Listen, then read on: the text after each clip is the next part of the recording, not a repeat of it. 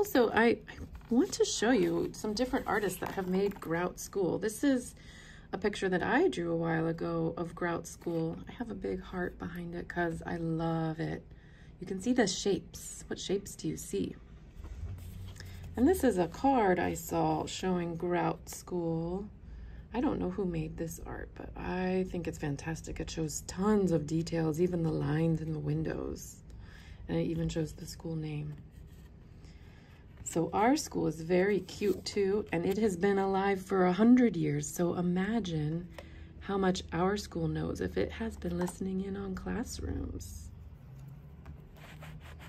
Hello students, today you're gonna get your art book. It is blank except with your name. You are going to get lots of choices today.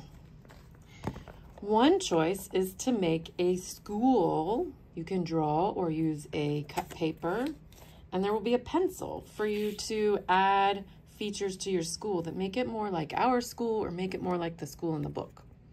Choice two is blocks. You will see blocks for building schools or building buildings on two of the tables. Choice number three, you can begin to draw inside of your new art book. Maybe you can draw your favorite part from the story or just draw schools you can um, do whatever you want inside. What do you like to draw? You can just test colors. It's a good place to test colors and touch inside. All right. This last choice will be to decorate your cover. And we have a material you might not know about called a paint stick. It looks like a chapstick or a glue stick, but it's not. It's paint. So I took the lid off I can turn the bottom so that a little bit peeks out, just a little bit. We never want to make it peek all the way out, then it might break. A little peeks out, and then we rub a thin layer, ooh, this one's gold, onto the cover of our book. And at first I can feel it's kind of sticky and it got on my finger, but after a little bit, it begins to dry like paint and I can have, whoa, a beautiful cover of my book.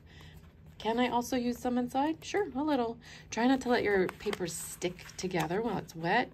Let it dry. Right now it's still sticky, but after a few minutes it will be dry. So, four choices, blocks, drawing on cut paper with pencil, using an art stick, or coloring with crayons.